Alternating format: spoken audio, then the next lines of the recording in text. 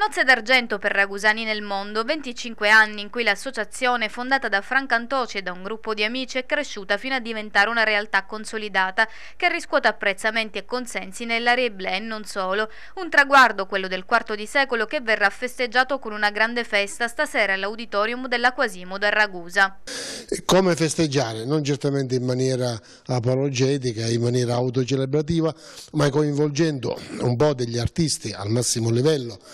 che sono saliti sulla scena, sulla ribalta mm, dell'associazione attraverso il premio e altre attività in tutti questi anni e che volontariamente eh, si offrono per dare un saggio della loro bravura con un'esibizione artistica che riteniamo per l'insieme degli artisti che domani sera faranno passerella eh, sul palco dell'auditorium eh, eh della Quasimodo è unica nel suo contesto, soprattutto nell'area ibea. Noi siamo ben felici di averli coinvolti, siamo ben felici di voler offrire gratuitamente a tutta la comunità iblea che vorrà intervenire, preciso che l'ingresso è assolutamente libero e gratuito fino alla copertura chiaramente dei posti a sedere dell'auditorium, siamo ben felici, dicevo, di offrire alla comunità iblea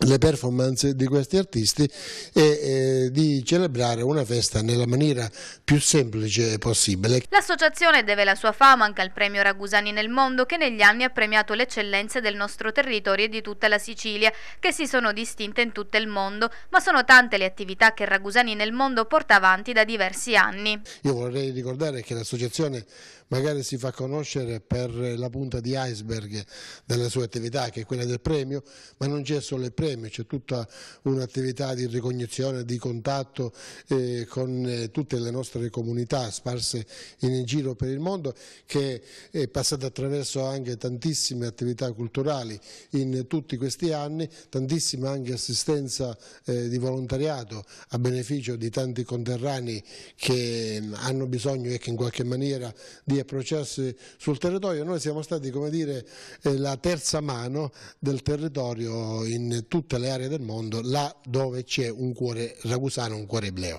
La nuova edizione del premio per il prossimo agosto è già in cantiere e si prospetta come sempre un grande spettacolo pieno di sorprese. Quest'anno cade il 5 agosto, ci saranno tante altre belle storie, tantissimi altri bei momenti artistici che al momento non vogliamo svelare, svelare perché non siamo sicuri,